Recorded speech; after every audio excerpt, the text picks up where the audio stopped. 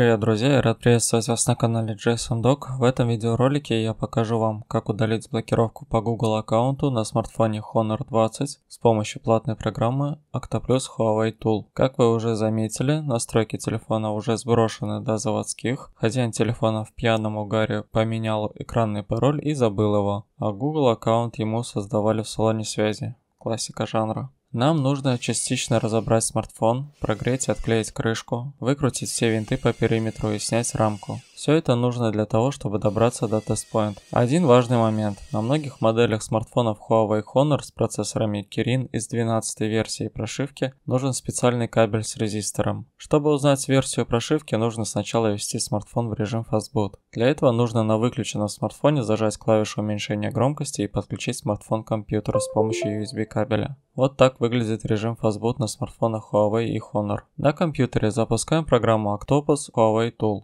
Нажимаем кнопку Read Info. Fastboot мод. Немного ждем. Программа выдаст отчет о версии прошивки и регионе. В моем случае версия прошивки 12.00.221. Десятая версия Android, регион прошивки C10.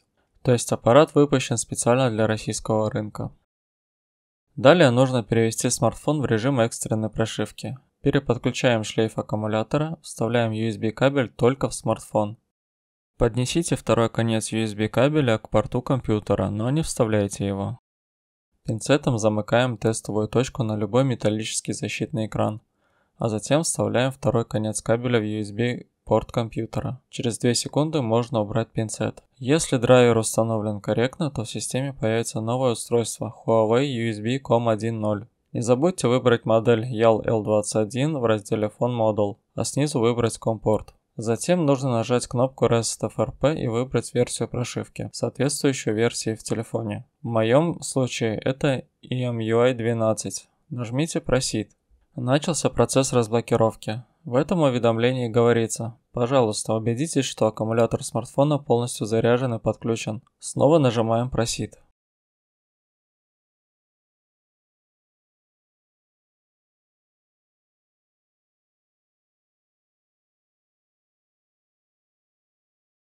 А в этом уведомлении говорится, если вы используете модифицированный кабель, то есть с резистором, как у меня, то вам нужно вытащить кабель из порта компьютера и вставить его обратно, а затем нажать ОК. Выполняем все инструкции программы. После этой операции загрузчик смартфона временно разблокируется, так называемый черный фастбут. В диспетчере устройств появится ADB устройство. И именно поэтому программа вначале предупредила нас о том, что аккумулятор должен быть заряжен и подключен. Без аккумулятора смартфон не сможет войти в режим Fastboot для удаления блокировки. Итак, финишная прямая. Проходим первоначальную настройку и совсем соглашаемся. Доходим до рабочего стола. Я немного ускорил этот фрагмент на монтаже.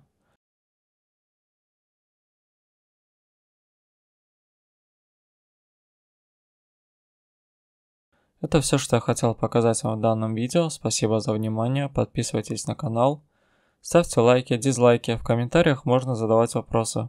Всем удачных ремонтов, до встречи в новых видео.